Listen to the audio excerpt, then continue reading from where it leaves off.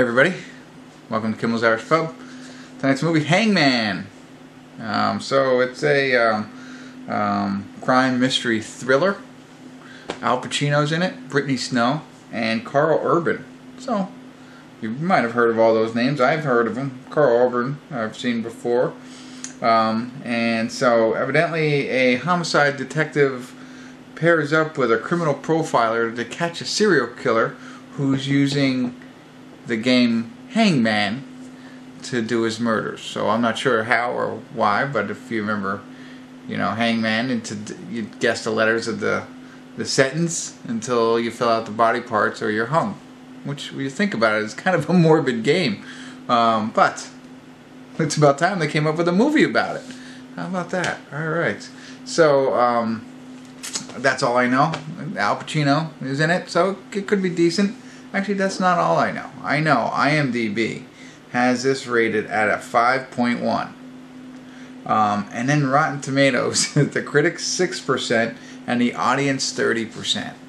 So I'm really taking one for the team here. I'm going to check it out for you and let you know if it's worth watching. So stick around. I'll be back in a little bit and I'll let you know.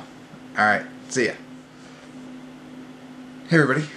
We're um, at the 50 minute and 32 second mark of Hangman. Um, and I'm uh, uh, it's entertaining to me.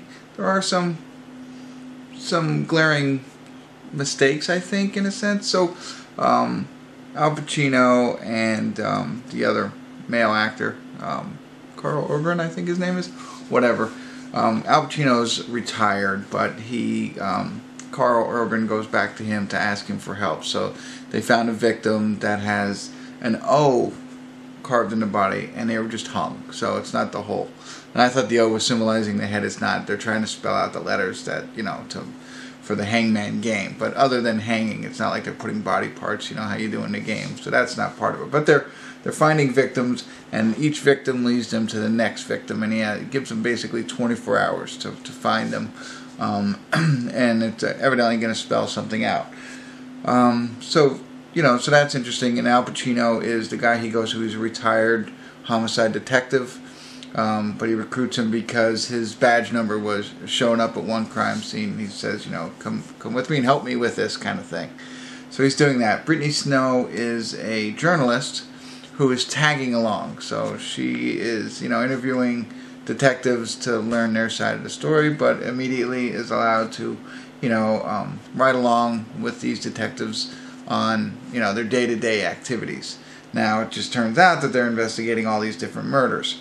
So you know she gets ultimate access as they um, interrogate one of the uh, potential um, suspects.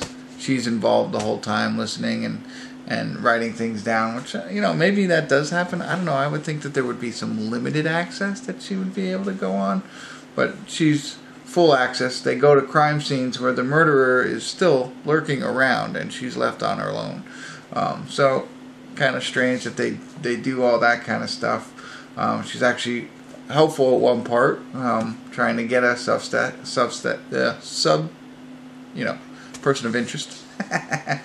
um, and then one other, th- um, one other things like so, and uh, Karl Urban's uh, wife had been murdered prior to this, and um, Brittany Snow looks at the file for a minute. Now these are two seasoned detectives um, who have, you know, all these years experience.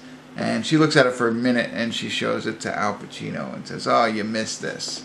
After a minute, she's an expert on on uh, his wife's murder. So it was like, or on his, well, you know, Karl Urban's wife's murder. So it's like, just by looking at one picture and everything like that. And so it's kind of, I don't know. It happened to be right on top of the all the files A little too convenient if you ask me. But still interesting. They're trying to figure out who did this, what's the link, how are they all involved, and I'm sure it's all going to come back somewhere somehow. So we'll see what happens. One other thing I want to mention that I, I kind of picked up on it was pretty neat. As they they give you, he's given them 24 hours, and it seems like the murders happen at 11 o'clock at night.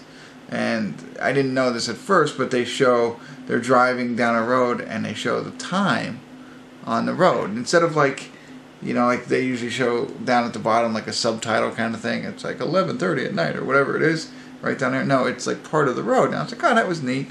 Then they show it a second time. They're pulling into uh, like a building of some sort, and it's up on the building. Different font, different color, kind of matching its surrounding, but yet showing you the time, so you can, you know, be aware of what time it is when they're entering these crime scenes and things like that. So I, I thought that was pretty neat. I like it's a clever way of doing it, creative, something different than what everybody else does, and uh, I, I like that part of it. And again, I think it's it's also entertaining. trying to figure out who's doing it, why they're doing it, um, with some glaring holes, but that's okay. Um, I'm gonna keep watching it here a little bit and uh, check back in, probably at the credits, give you my final synopsis, and uh, tell you thumbs up or thumbs down. All right, see you in a bit. All right, so we're at the uh, credits here of Hangman, and uh, a little disappointed. So let me just talk a little bit about the last half of the movie here. Um, you know, I picked it up right in the beginning. Right in the beginning, Karl um, Urban and Al Pacino meet, and that's where he's trying to recruit him to help him with these uh, with these bodies that he's finding. And the exchange that they have is very odd. Um, you know, it didn't seem there's, you know, I don't know if it was a lack of chemistry between the actors or just a lack of good dialogue from the writers and the directors and the producers. It was just really weird. It was it was just uncomfortable, kind of like eh, whatever. So then I'm watching that throughout the film, and it happens other times. Another time when they're at the uh, there's a train station, and and it hit me again. I was like, that's another weird interaction. So you're starting to think, okay, and you're trying to solve the mystery yourself. Who is Hangman, and how does how are all these people involved? And you're using these interactions to do that kind of stuff. So um, it was just very strange interactions that uh, uh, you know didn't sit right with me. In addition to that, as they go and find these different bodies, I forget how many there were. Um, but he's leaving clues on how to find the next body. And the way that the, the clues they didn't make any sense to me. They would it was just like they'd make something up and then be like let's go comb the river.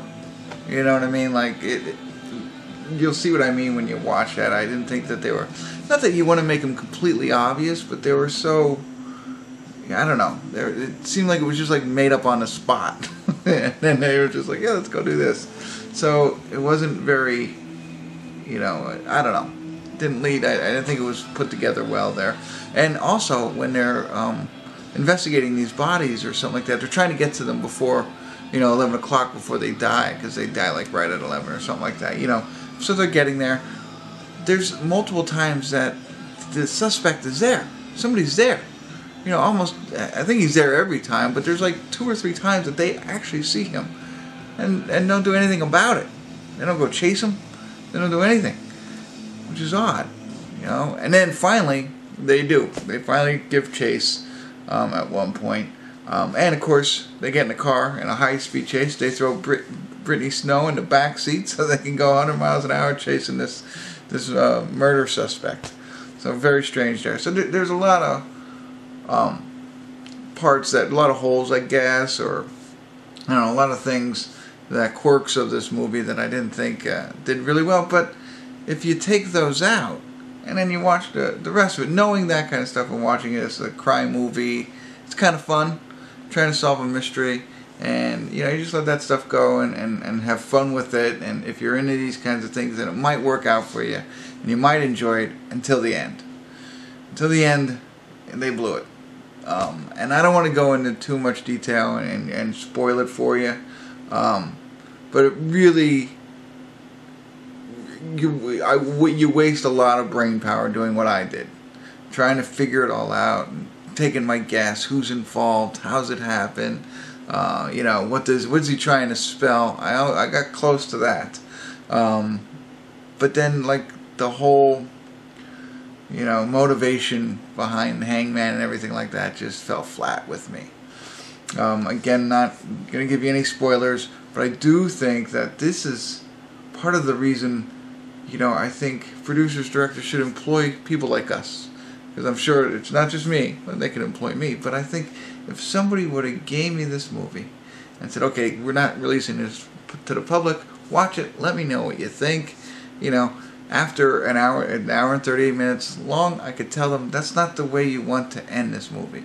Change it, and do something like this and, and go back and, and help them. You know, I mean, maybe just give me a day and I'll put a report on their desk in the morning and they, I could come up with a whole bunch of better ways to have this movie end. Or, you know what I mean? Like, and you'll see what I mean. It's just, I, again, I think it was kind of like on the spot kind of thing. It was like, okay, we've created this pretty intricate plot on you know these different murders, kind of like Seven in a sense, and and they're intertwined, and these cops are involved, and Brittany Snow somehow isn't there, and and then you know, and then it got to the end, and it's like, okay, we don't have enough time or enough of the budget to make this work out, to make it really interesting and happen. So let's just do this.